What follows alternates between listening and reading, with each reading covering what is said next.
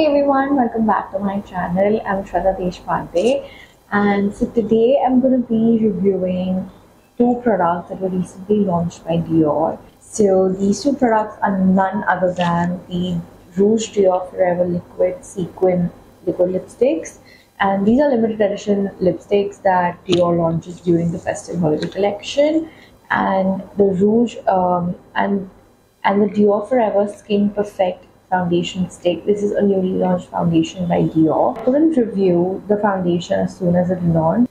When I went to purchase the foundation, I couldn't get my shade because I felt the other shades were a bit darker for my skin. So Dior Forever foundation comes in 14 shades and um, I picked this up in the shade 3N. So first we're going to start with um, Last time Dior came out with these sequin liquid lipsticks. I couldn't get my hands on them.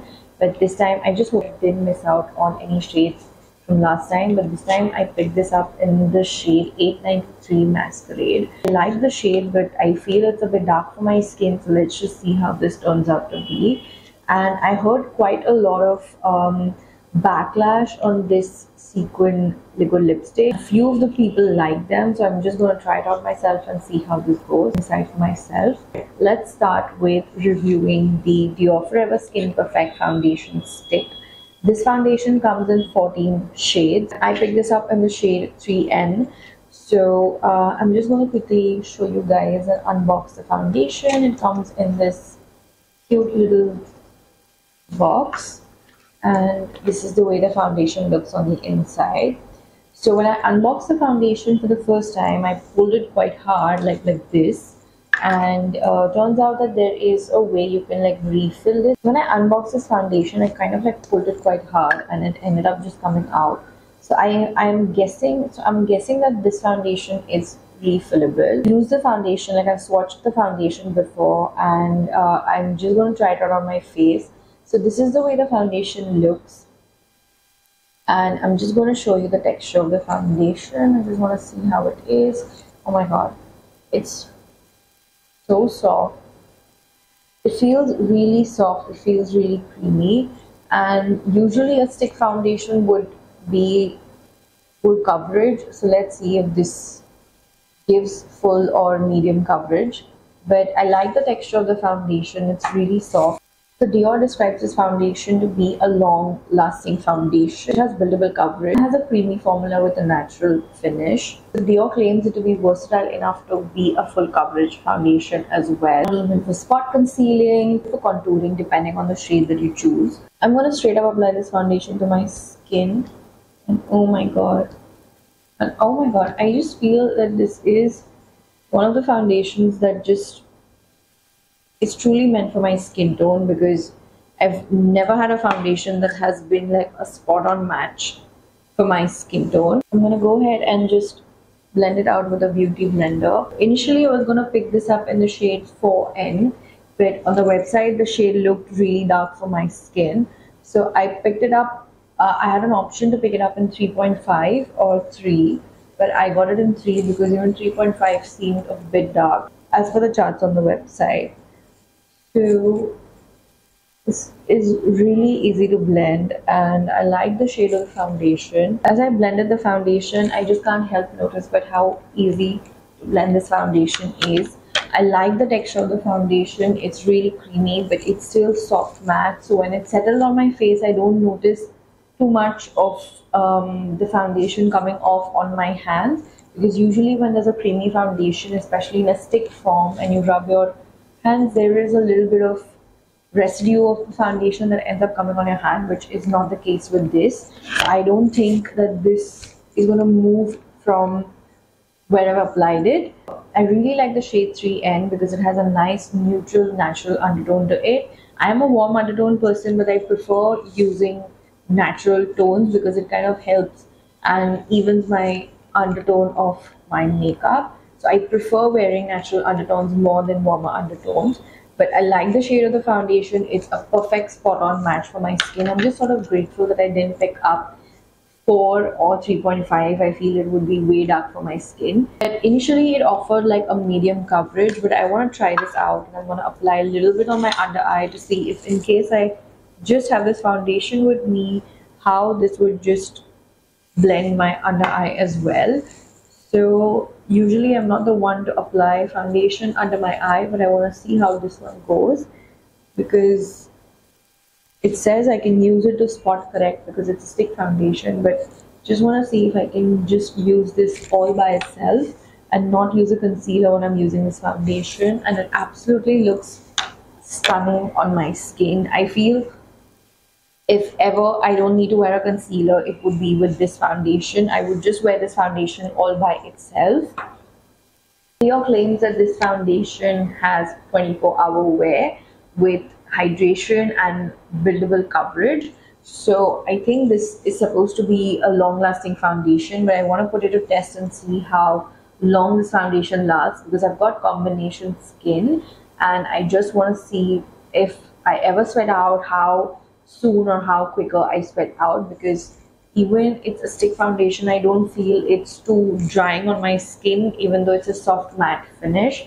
And um, I don't feel I don't feel it's too creamy. It is creamy but it's the right type of creamy that won't budge your makeup. And more than anything else I like that it's given me a nice even skin. And it also has covered up the redness that I have on my chin and around my cheeks as well so it kind of evens out your skin tone and I don't think personally I don't think I would wear concealer with this foundation because I just like how it sits on my skin it gives the most natural finish for me so this foundation is like a 10 on 10 for me at the moment. The shade match was absolutely spot on for me. I don't think there has been any other foundation that has come so close to my shade.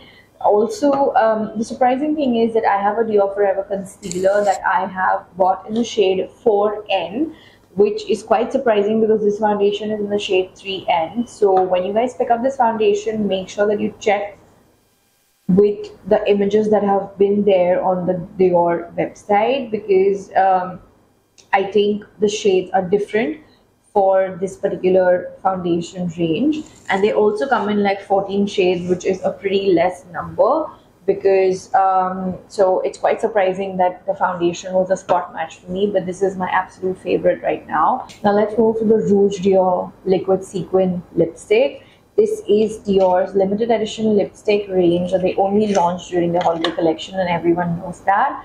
But I'm still going to mention it because it's holiday collection and it's a limited edition piece. So if I were you, I would just go and grab these. So I picked this up in the shade 893 Masquerade and you can see it's a really pretty deep plummy lipstick but I kind of thought that this would be a little bit lighter because usually lighter plum lipsticks like they look really they look purple on me but this looks nice. Like I mean I think it has a little bit of brown in it that's why. But usually plum lipsticks don't look good on me. They look quite purple. So this is the way it looks on the inside. And apparently they say you apply it you let it dry and then you rub your lips till the glitter comes out. But looking at the looking at the liquid lipstick bottle i feel i feel that there is glitter as i apply it. I think it will intensify more after i after i rub my lips so i'm to go ahead and swatch the shade directly on my face because i don't want to swatch it on my hand oh this is just so out of my comfort zone this is not a shade that i would pick usually but since it's sequin and it's festive. So there is a little sequin already to this application. I can see it, but it's not that evident. So I'm just going to zoom in a bit. So I've you guys a bit closer to me and you, I hope it's visible. There is a little bit of sequin when you apply it. Like a little bit of shimmer, I would say, not even sequin.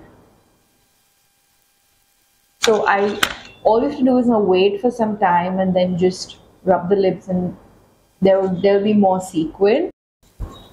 I just can't wait for this to dry. So Dior apparently claims this liquid lipstick to be long lasting and transfer proof. So let's just see if this lives up to the hype, but I just can't wait for the sequin anymore. I'm kind of liking the shade because it's just that perfect deep plum and it's not looking purple on me. But more than that, I like the fact that the formula is really creamy and lightweight because usually when you see sequin or any glitter liquid lipsticks or even lipsticks they feel really heavy and they feel crumbly on the lips because it has glitter in it but this doesn't feel like that at all because even though I can see sequin or these little shimmer particles in it it it still just doesn't feel that crumbly glittery or that rough uh, texture that usually a glitter lipstick would give now is the time to rub my lips so I'm just going to just in the mirror. Can you guys see it? The camera can pick this up, but it looks amazing. I, and, and, and it has matching glitter it like this. So I'm just gonna rub my lips again. The sequin in this lipstick is light, but it's not too overpowering at the same time. I like the shade and the sequin matches the color almost because it has a nice deep plum liquid lipstick with almost like deep brown shimmer so it doesn't look too over the top as well. I would like to wear the shade especially in the evening because I don't think this is a daytime shade at all. You just have to rub your lips once it's dry. So I kind of heard a lot of backlash for this liquid lipstick when it launched last year because the sequin was a bit crumbly and it just didn't settle right. But I think with me, it settled quite evenly all around my lips. I like the fact that when you wear it, it's really light, and when you when it settles down, it's quite. I think only the sequin transfers a bit. I like that when I wore it, it had a nice light liquidy texture, but when it settles down, it settles down to me uh, like a true matte finish. So they say it's a transfer proof lipstick, but I am just not quite convinced because the glitter just transfers a little bit. So maybe it's not dried down quite a lot right now, but definitely I feel there is a little bit of transfer. I just need to dry it a little bit more, but I just wouldn't recommend rubbing your lips too much if you're wearing this liquid lipstick because it just might transfer. My final thoughts are that I love the foundation. I, I'm just I just can't get over the fact that it's an absolute shade match for my skin. And I like that it's versatile. I can just carry it anywhere because it's a stick foundation. I can, and I like the fact that I can use it for any on-the-go makeup touch-ups as well. It stays matte. It doesn't just budge at all and it gives a really nice soft matte finish to my skin. And the Sequin Liquid Lipstick is the absolute showstopper for me. I love the shade. It applies really well, dries down, but the only thing I'm not sure about is if it's like if it's even like transfer proof because I'm gonna do it again in front of you guys and I can see there is a little bit of transfer. So I don't think it's that long lasting because of the sequin. Overall, both these Dior products impressed me quite well and all the links are mentioned down in the description below if you guys tried the product and if you guys have any questions then do not forget to mention it down in the comments below if you guys enjoyed this video do not forget to give this video a thumbs up and if you guys are new here do not forget to subscribe to my channel for more beauty reviews and makeup tutorials. Thank you so much for watching guys and i will see you guys in another makeup video